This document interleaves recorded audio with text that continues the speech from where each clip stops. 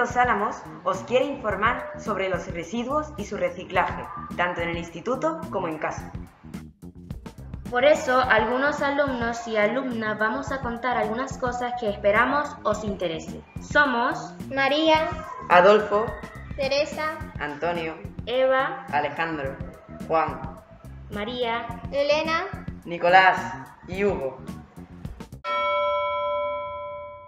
En la naturaleza se generan diferentes residuos, vegetales o animales que entran a formar parte de los distintos ciclos naturales, en donde se produce su reutilización y su incorporación de nuevo al medio.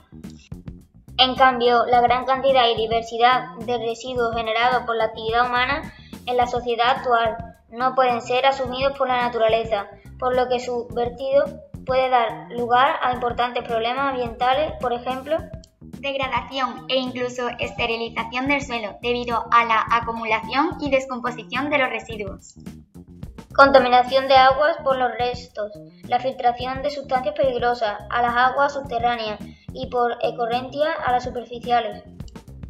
Generación de focos de infección, lo que favorece la presencia de roedores e insectos portadores de enfermedades que afectan a otros seres vivos, incluidos los humanos.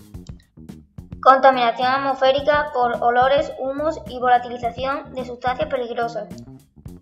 Alteración del paisaje natural y urbano si los residuos son abandonados en la calle, bosques y playas. Si se decide incinerar los residuos, esto supone también la emisión a la atmósfera de gran cantidad de dióxido de carbono y otros gases tóxicos.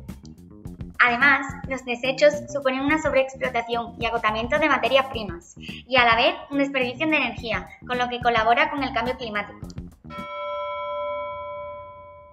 Entonces, nos podemos preguntar, ¿dónde va a parar nuestra basura?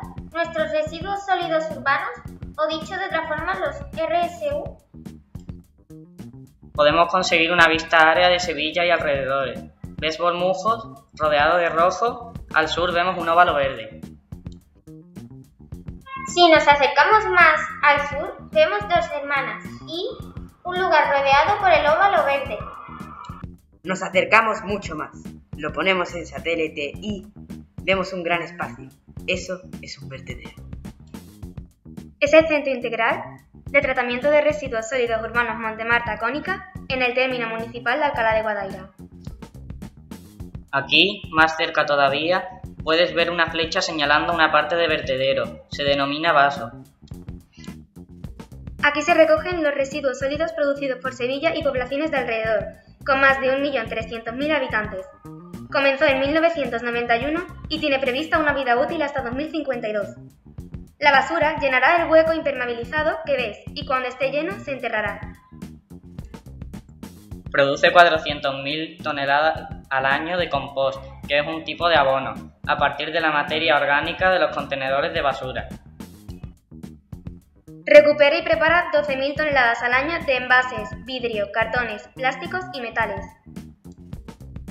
De la basura enterrada y en descomposición se extrae biogás y genera energía eléctrica para uso del propio vertedero. Manipula 1.800 toneladas de residuos sólidos diarias, pero es difícil reciclar cuando están mezclados todos los tipos de residuos. ¿Y qué podemos hacer nosotros? Separar la basura favorece el reciclaje. Va a favorecer el ahorro de los materiales con los que se fabrican y de la energía gastada. También va a crear puestos de trabajo. Hará disminuir el volumen de residuos, haciendo que los vertederos duren más y no haya que buscar nuevos lugares. ¿Te gustaría un vertedero cerca de tu casa? Puedes hacer mucho, en casa o en el instituto, pero depende del residuo, del material.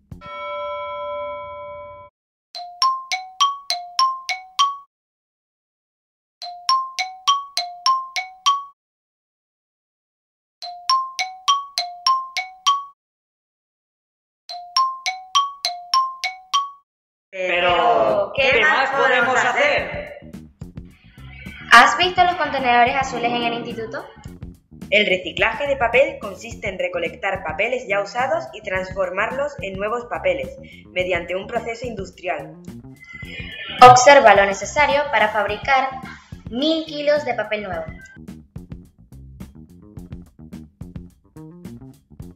Compáralo con lo que se ahorra en agua. En energía se puede ahorrar más de la mitad. Eso también permitirá reducir los residuos y la contaminación que se produce al fabricar papel nuevo. Además, es más barato producir papel reciclado. El reciclado de papel evita la tala de árboles. Una tonelada de papel reciclado salva la vida de 5 árboles adultos. Aunque en algunos lugares los árboles talados son sustituidos por jóvenes. Es un ejemplo de desarrollo sostenible. Pero sobre todo, se reduciría la necesidad de plantar coníferas o eucaliptus en grandes áreas, eliminando el anterior ecosistema. Tenemos algo más que decirte. Haz un buen uso del papel, nuevo o reciclado. Úsalo cuando sea necesario y aprovecha los medios digitales para la elaboración y la entrega de trabajos. Recuerda que el papel impreso por una cara sirve para tomar notas por la otra y finalmente no lo arrugues o hagas bola al echarlo al contenedor azul. Ocupará más sitio. Dóblalo si quieres. Un mismo papel se puede reciclar de 6 a 15 veces. El papel reciclado puede ser tan duradero y resistente como el papel elaborado a partir de pasta de madera. ¿Cómo depositar los residuos? Pues por ejemplo, evita todos los elementos que no sean de papel o cartón, grapas, portadas y cartulinas de plástico. Y hay más consejos. Seguro que sabes que estos residuos sí van al contenedor azul. Pero estos no. El papel de aluminio no es papel. Bricks o papel sucio no debe ir al contenedor azul.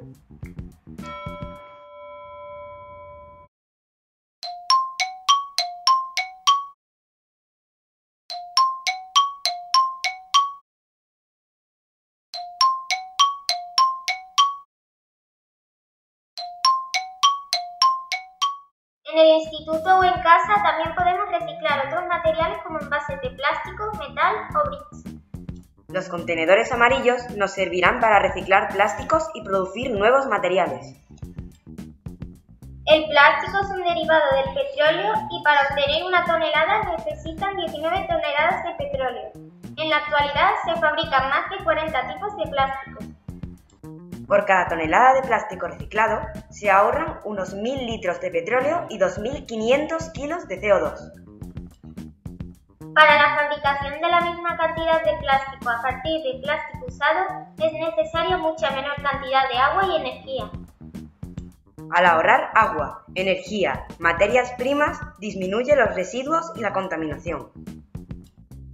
Por ejemplo, las anillas de plástico de los packs de latas de bebida o las bolsas de plástico que tiramos sin cuidado son los causantes de la muerte de animales que las comen o se asfixian.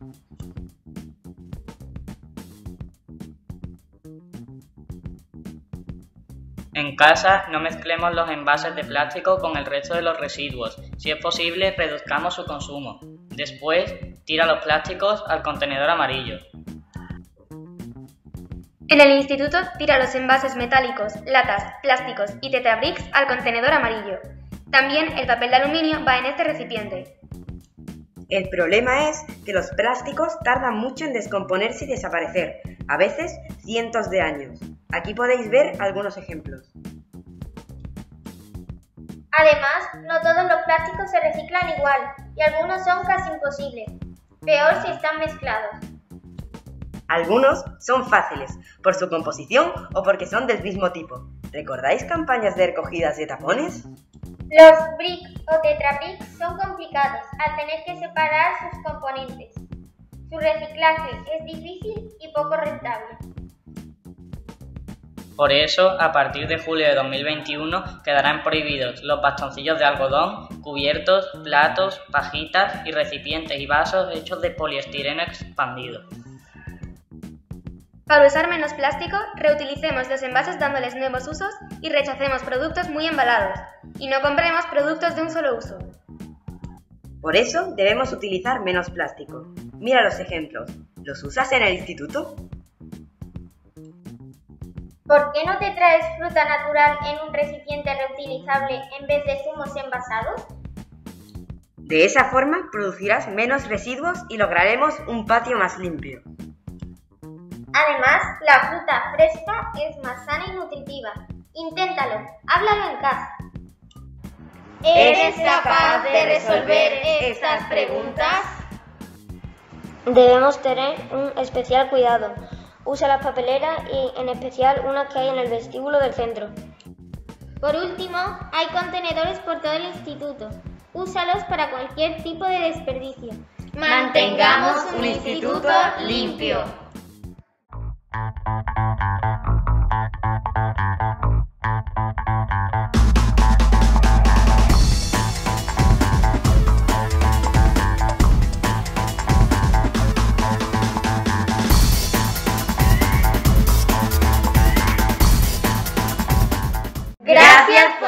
Atención.